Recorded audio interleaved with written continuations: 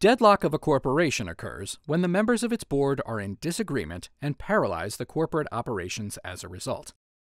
When a deadlock occurs, the board members often seek redress in the courts. In Wollman v. Littman, the court considered whether it must automatically order dissolution if a corporation's deadlocked board can't otherwise reconcile its differences. The Nierenberg sisters and the Littman family were two competing factions of a closely held corporation that sold garment fabrics. Each group owned 50% of the corporation's stock and had an equal number of directors on the corporation's board. Thus, the groups had equal control and were experiencing deadlock.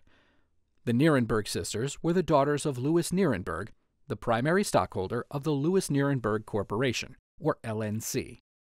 LNC was the corporation's main fabric supplier. Accordingly, the Nierenberg sisters operated the procurement side of the corporation's business, and the Littmans developed the customer base and operated the sales side of the business. The Littmans sued the Nierenberg sisters, claiming they were undermining the corporation by attempting to persuade its customers to become customers of LNC instead. In response to the Littman suit, the Nierenberg sisters filed an action seeking to have the closely held corporation dissolved and have a receiver appointed to oversee the dissolution. The Nierenberg sisters argued that the Littman suit proved that the two factions were so at odds that the corporation was truly deadlocked and thus that dissolution was necessary.